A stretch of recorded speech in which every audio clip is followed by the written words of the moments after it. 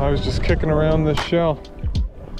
That's got to be, is that like a geoduck shell? I don't know. Massive though. That's very cool. Look at all the barnacles and stuff. Very big, very big shell.